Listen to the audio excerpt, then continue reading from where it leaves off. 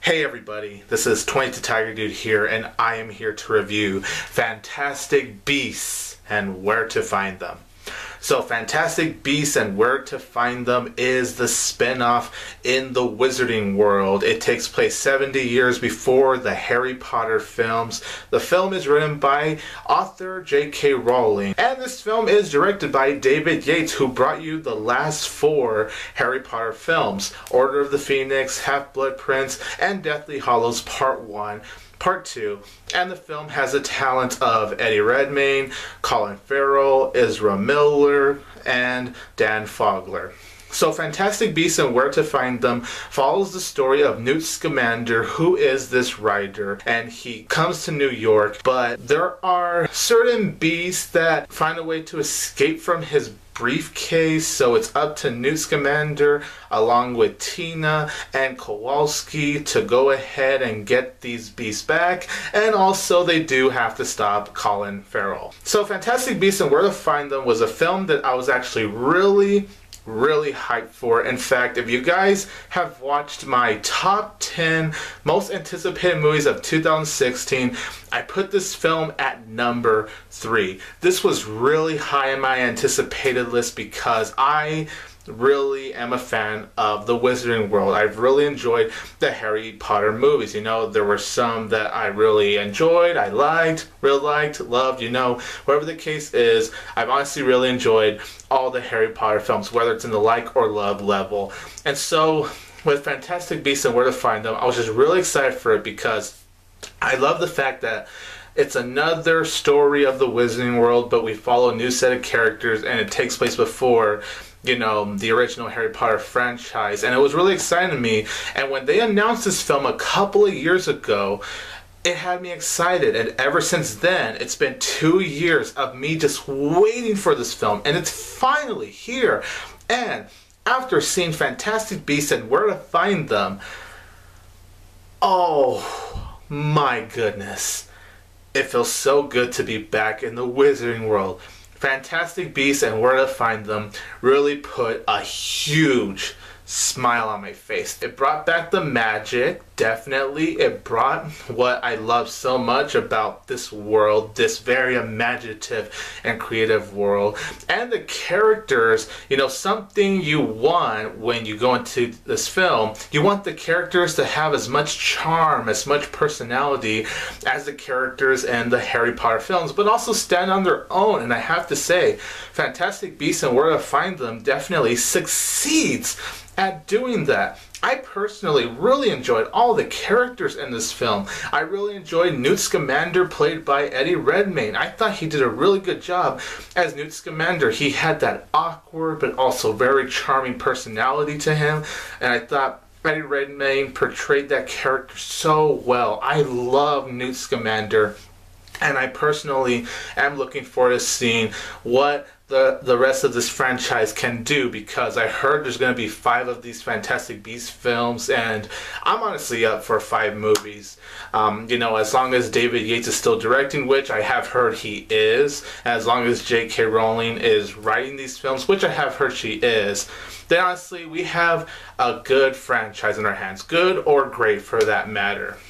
I also did actually really enjoy Dan Fogler. I really thought he did a very good job acting here because we haven't quite seen J Dan Fogler in a role like this. So it was pretty cool to see him. Not only that, but it's been a long time since I've last seen Dan Fogler. So to see him pretty much back in a movie, but back in the Wizarding world is so cool.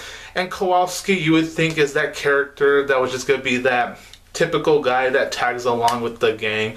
But no, as the film progresses, there's actually more to Kowalski that you learn to appreciate. And I thought Dan Fogler just portrayed that sense of awe to that character so well. You know, when the character is just looking around and being mind blown by the magic that surrounds him. Someone that I actually did really like in this film is Katherine Waterston. She plays the character of Tina, who at first does investigate Newt Scamander and um, Kowalski. But then, you know, she ends up helping them out later. I really liked her. I thought she was actually a very interesting character, and I really liked how she would interact with Newt Scamander. That was very nice right there. And I actually even really liked her sister. I thought the sister was really nice, in which, yes, Kowalski and her, they do have this romance plot, which actually didn't bother me. Granted, it's not the most necessary thing, definitely, but I actually thought for what was given, it didn't really feel forced to me. Sure, it came out of nowhere when these two characters meet, but it didn't really feel forced to me. I actually dug their little cute romance. And I also do have to say that Colin Farrell kicked ass in this film as the antagonist of the film. I thought he was really great. There's not really much of him in this film, definitely, but for how they definitely used Colin Farrell, I thought they used him at the right amount of time. And the same thing does go for Ezra Miller, you know, the guy that's going to be the Flash in Justice League next year.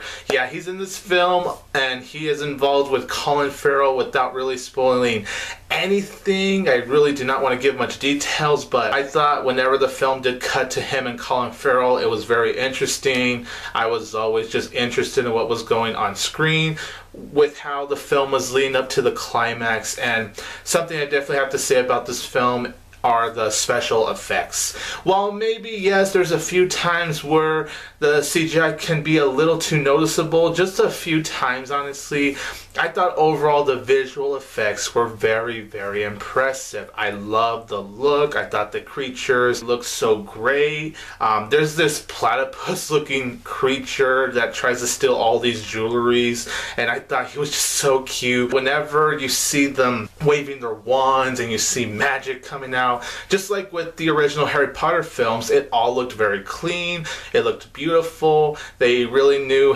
how to use the visual effects, just like with the Harry Potter films. I was very impressed visually with how Fantastic Beasts was. And yeah, the action scenes themselves, there's not a ton of them, but when there is action, it's very exciting. Although I will say, even though this film does set up a lot of things, it doesn't really feel like a setup movie. This movie still feels like it's standing on its own. It's still telling its own story without feeling like a setup movie. Because I never felt like once this was a setup movie, it just felt like an entirely different story. And it was very refreshing, honestly.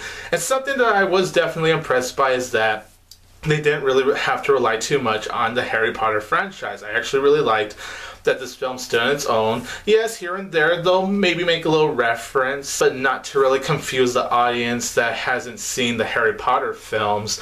So it's all like, even if you haven't seen any of the Harry Potter movies, you're honestly fine watching Fantastic Beasts. You could follow the story well, you could follow the characters well you could just follow this Wizarding World very well. This film truly does bring back the magic of the Harry Potter movies. Everything just feels so magical and wondrous. There's so much imagination and creativity. And that's honestly huge credit to J.K. Rowling for writing this film. And of course, the man that's known for bringing magic to life is David Yates. He did a great job directing this film. David Yates um, I think it was great that they got him to do this and the other sequels for what I'm hearing because he, this man directing the second half of the Harry Potter movies in the franchise, he understands how to build the world. He knows how to build just the atmosphere of this wizarding world. So David Yates did a really good job directing this film. Just the cinematography, which is something I have to mention, looks absolutely beautiful. The cinematography, David Yates' direction, and J.K. Rowling's writing is definitely what truly gets you sucked into the Wizarding World. If it weren't for them, I can't really see Fantastic Beasts and Where to Find Them being as magical of a film, but because of that, it really does help this world. And I have to say, there's one moment towards the end of the film where I actually did get a little bit emotional, and I thought it was actually executed very well on where they took that one emotional moment towards the end of Fantastic Beasts. That was really great. And the climax itself, I actually did think it was very, very interesting to be honest. But now, when it does come to Fantastic Beasts, I'm not going to deny there are some problems with this film. One of the problems for me, honestly, is is Colin Farrell's motivation. I did think that it was very confusing, although I was still very, very invested with his subplot with him and Ezra Miller. I was still like, where is this going? I was still going back and forth on where exactly they're going with it. It's not really until once you get to the climax where everything comes together, all of a sudden starts to make sense. I still kind of wish though that the motivation did make more sense for the majority though because before that climax I was scratching my head sometimes during the film. Also, I'm not going to deny there are some pacing problems with Fantastic Beasts. The first act is honestly a little bit slow. It does really uh, take a while to get going. Not that it was bad or anything. I still found myself slightly invested with the first act, but I definitely wasn't invested in it as I was with the second act and definitely the third act. And speaking of the second act, although I was really getting into it, there's even some moments during the second act that I did find to be quite slow as well. I will also say I never felt really emotionally attached to this film either. Like I said, there's only that one emotional scene towards the end of the film where I was like, wow, that was quite powerful. That was very well executed. But besides that, any other attempt they did to make you feel kind of emotional sometimes.